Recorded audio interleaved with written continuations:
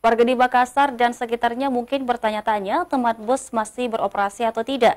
Pasalnya sejak 1 Januari 2022, bus yang disediakan oleh Kementerian Perhubungan tersebut harus istirahat untuk menjalani evaluasi teknis.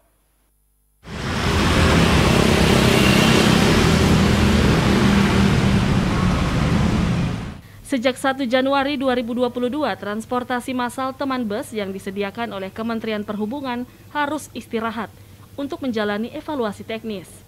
Dari total 87 bus Maminasata, sebanyak 39 bus Maminasata istirahat beroperasi di Terminal Pembantu, Samata Goa. Selebihnya, 48 teman bus berada di Terminal Talasa City. Kepala UPT Dinas Perhubungan Provinsi Sulsel Prayudi Syamsibar mengatakan, istirahat bukan karena adanya aksi demo dari supir angkot, namun adanya evaluasi teknis dari kementerian terkait administrasi.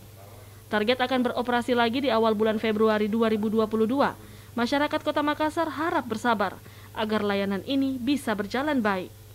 Kalau kami istilahnya bukan berhenti operasi, tapi sementara istirahat beroperasi karena ada ada evaluasi teknis, utamanya dari kementerian terkait dengan eh, administrasi eh, dan persiapan operasional di tahun 2022.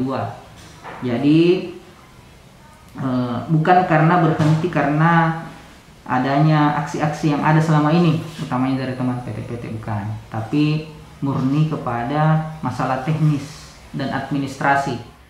Dengan hadirnya teman bus diharapkan dapat mengurangi kemacetan serta memberikan opsional kepada warga untuk menggunakan transportasi massal aman dan nyaman. Ardi Jaho, Selebes TV.